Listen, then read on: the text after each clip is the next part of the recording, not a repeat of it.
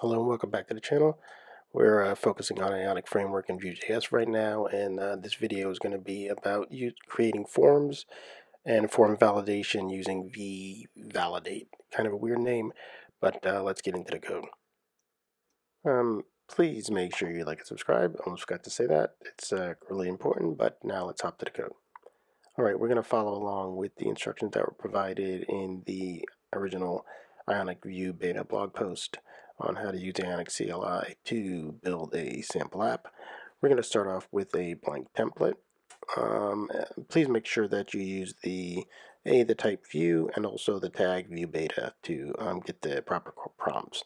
So you see we've entered the command, we're getting the prompt, we're going to select blank. I am not going to include capacitor um, for this example.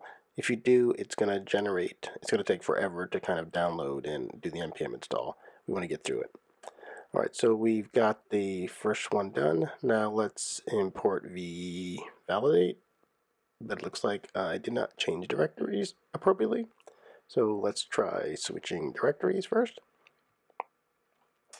And then let's rerun the command and see if we get better results. All right, it looks like we're getting what we want. It's loading it up. And then the last thing, which I'll show towards the end of the demo, is the VeeValidate comes with a set of predefined rules for checking for email, min, max, length required. And um, you can see all that with the documentation. Once again, I will also include that link in the description. So we're about done installing that. Now let's hop into code. Alright, I am in the editor now, and we are going to uh, remove the unnecessary uh, content that's put there by default for the blank application on the home view. So let's clear all that stuff out of there. And the next thing to do is, which is really weird. Well, first let's get this thing running so that we can actually see as we're making changes what's happening um, in the UI. Let's uh, move the terminal down a bit. Let's start with this, which I find kind of arduous, this process of you have to import all of the components that you use, and then after you import them, you also have to go down and define them. Um, so I've got the basic button, toolbar, item, label, input, ion text area. And now you go down below to the components and then you define them. Let's format that up. The catch is if you don't do that, it will still compile, but the code won't work properly. And I got stuck uh, on that before, so be, be sure you do that. The next thing we're going to do, we're just going to basically set up a uh, ionic form. Um, oh, excuse me. Yeah, an ionic form. Um, we're going to use the ionic item, you know, the standard way you see it, where you have an item, and then inside the item you have a label, and inside the label you have the input type. Um, so we're going to use two specific input types here. We're going to use a um, input uh, with default text, and then we're going to use a text area. Uh, later on in the example, we're going to show how to use, how to verify an email address. And so we'll add another um, text field, and we will ensure that a proper email address is entered on that to show how validate works. So the really interesting thing you want to do with form is you want to be able to get the data in and then you want to be able to have a nice um, object that has all the data and be ensured that the data is validated before submit's done. So that's what a tool like VeeValidate will do for you. As I quickly just kind of go through this process of um, getting the input fields done. So we have the original title input field. Um, we have a button which we will use for the submit. Let's copy the ion item and uh, let's change this to a body field. So let's, uh, please, I apologize for my slow typing. Um, let's change this from an ion input to an ion text area. Did I spell that right? Yes, ion text area. Be careful, there's no hyphen between the text and the area, and it is not camel case.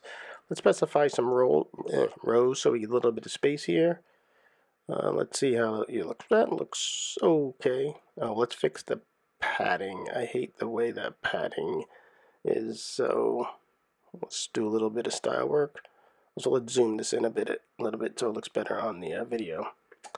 Okay, what's next? Uh, yeah, let's clean out this full screen and uh, set this standard ion padding to get the padding around the form so it looks a little bit more presentable. And then um, let's go down and also clear out these styles and put in some styles that uh, will actually mean something for us.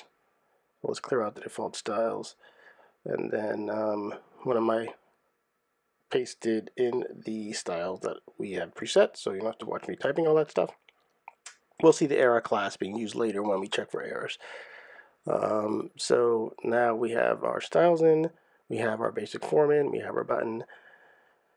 Let's set up the setup. Ooh, set up the setup. Let's set up the setup where we are going to actually return the properties and attributes that are accessible in the template.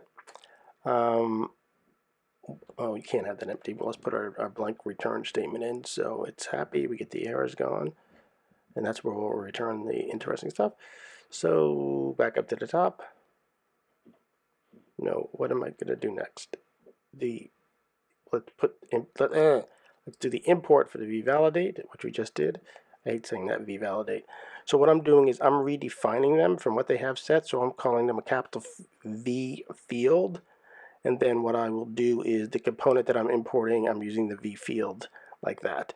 Um, just just the way that I want to do it so that it's clear for me. Um, so then what I can do is in my forms, I can actually use lowercase v hyphen field, lowercase v hyphen form, lowercase v lowercase v hyphen error hyphen message. Um, so now that I've defined them, now let's start to use them. So this actually is easier than React Hook Forms, which I use in React. Um, there's no special controller or anything that you need to do. You just wrap your input field with the v field, um, you put the error message tag below. Um, and what you're going to do is you're going to specify a name for the v field. So I say the name of my field is called title. Um, and then the, I get a slot variable back, which I am calling field. And then what I'm going to do is I'm going to bind that to my input field. So, so, let's get the slot set up. Um, define the net variable field. And then what we do is you go in your input field and you just say vbind assign it to the field. Mm, not like that. Back, back, back. I'm going to clean that up. Uh, yeah, assign it to the field. And then let's give this, let's copy this and do it down on rows. And we'll just do the same thing. We'll copy the slot uh, field, save a little bit of typing, do a little pasting. Now let's wrap this uh, field. Okay. Have some errors, but we'll fix those. Um, title. We have our body set. We have our title set. Now let's make sure we put the name of the actual input item that needs to match back to the field. So you see we're putting the name body because that's the body item that we're working on and we put the name title above because it was the title. So we have our two input items wrapped appropriately um, now we're getting error because I've registered the form component, but I haven't used it. So let's add the form. Um, remember, as I said, I redefined mine as capital V form, so the um, hyphen is uh, lowercase v hyphen form. So I wrap the whole, um, need to wrap, make sure you wrap the whole form. The other trick is make sure you include the uh, submit button inside, inside the form. That's critical. I made that mistake before. And then um, I have my error message set in there. And the error message also, once again, needs a name tag so it knows which item to uh, map the error message with. We're going to copy that and we're going to put one down below here for um, my body also. Let's set that to body. Oh, looks like I had an error there. I need to make sure I set that all those names to body. So we have the field for body, which goes the ion text area called body, and the error message body. Now let's go back up to the form. The form, just like the field, has some slot properties or slot variables that we need to utilize. Um, and so for this example, we're just going to use two of them. We're going to use the values, which will give us the values from all of the input fields that are associated with the form. And then we'll pull back the errors because we also want to utilize the error fields. Um, I'm just utilizing the error fields for uh, debugging purposes uh, because you'll see the errors listed below the text fields use it with the error message that we're using. So that, that's how you'll see that. The next thing we want to do is there's a submit event, and we're going to use the submit event, which we'll call our submit function. The beautiful, th uh, the beautiful thing about the way they implement this is that our submit event will not be called if there's any errors whatsoever on the form. Um, it just it won't pass the data through and call our function unless the form is valid. So we are ensured that by the time we get called, we will get past a object that has um, key value pairs of all of the form fields that we needed um, passed to us so that we can utilize them in our application. And all we're going to do is once we get the data object passed in here, we will um, display an alert. We will stringify the object that is returned so that it can be rendered properly in my array. And um, that's it. Why is this complaining? Oh yeah, I need the additional fields for my JSON stringify. So let's put a null and a 2 to get that set up appropriately. And then now, why is there still an error? Oh, it's not a second parameter. Um, that needs to be concatenated.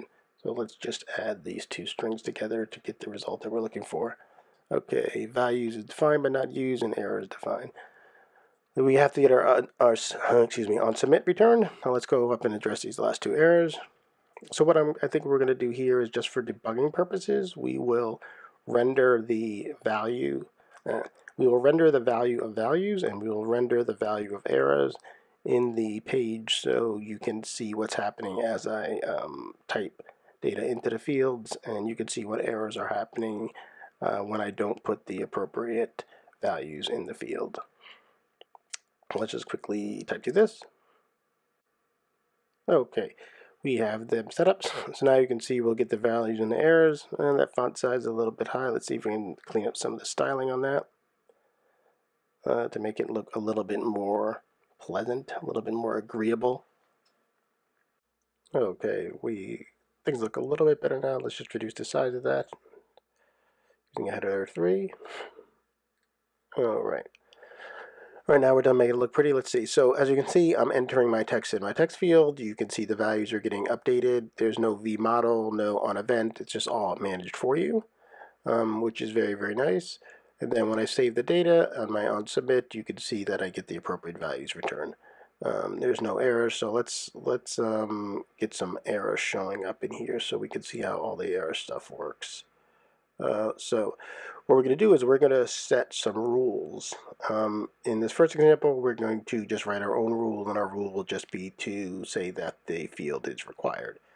So we write our function called is required, and we pass it in as a rule. And then now um, we're going to assign in require uh, is required to both the body and to the title. So now we go down to our uh, our setup area inside our component script, and we're going to create a new function. I'm just going to paste this in quickly so it's a custom validator. You get passed in the value and then you return true if it's good or you return an error message if it's false. So, um, so what I'm doing is, as you can see, I set the return to is required field if there's no value. So that's what gets returned. And then my er my v error component um, that I had created, let's go back up and see that guy, um, it will render the error message. So that's what, what you're seeing. But let's clean that up too. Put a paragraph tag around that button to get on the next field. And so you can see the required message. Uh, the is required field is, er, is required field error message being generated. Let's pretty that up a little bit using the error class that I created earlier. So there you go. It's a nice little bold red. Let's add that to the um, other one around the body so you can see the nice error message that you get because it's saying that field is required. And as I enter data in the field, the error message goes away, we get the data, and everybody's happy once again. So very neat, very easy, very clean way to get your forms done no excuse for not validating forms. Um, there's tons of great libraries out there. Like I said, I just picked this VeeValidate uh, one because I like it. All right, and now let's look at the other capability that they have where they come with a packaged set of rules so that you don't have to roll your own. So in this example, I'm just going to keep it simple. The links are available to look at the whole set of them. Uh, what we're going to do here is we're just going to validate an email address. So instead of trying to figure out that ridiculous um, regex to validate email address, you can just import from VeeValidate. Um, let me uh, load in that library very quickly here to get us going.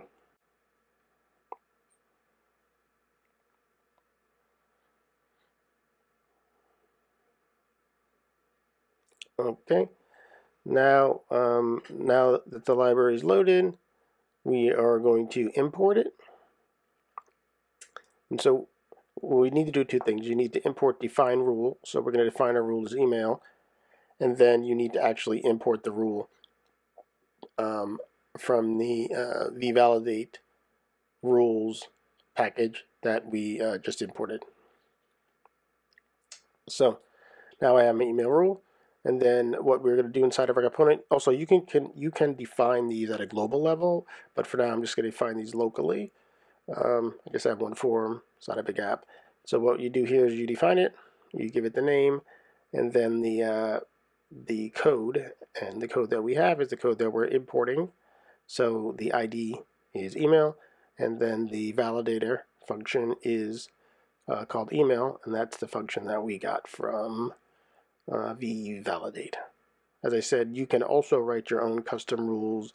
You can kind of combine them together to, to define your own custom rules. All this is deeper in the validate documentation, but I just wanted to kind of touch at it at a high level. Uh, what we're going to do very quickly is we're just going to copy all this information for the title, and we will paste it, and we will rename it to email or author. We'll name it the author. So the idea is you have this object with the title, uh, the body of it, and then you also have an author that's associated with it, and the author's name needs to be an email address. So we'll go in and we'll change everything to author. We'll change the rule to email. So we should validate the email. Um, why is it complaining? It is complaining because I don't, yes, I didn't uh, return it. Uh, I need to do that to make sure the template can get access to the uh, to the code. All right, so now we've done it. So now you see we're getting the error that the author is not valid um, because the author is not a valid email address. And as we start to type, it is checking on the fly. So as I start to you know, use my fat fingers and correctly type an email address. Let's do this more time, alrightmail.com. The error goes away. And so now we can go ahead with the rest that you've seen before. Let's put a test title in. Let's put a body in. Let's save our data. And you can see we get that nice JSON object with all the information that we need packaged up nice and neat. So once again, this is VeeValidate, links in the bio please make sure you like and subscribe um, and leave recommendations. Here's the Ionic blog about getting started with the Ionic Vue Beta. Um, and that's it. Thank you.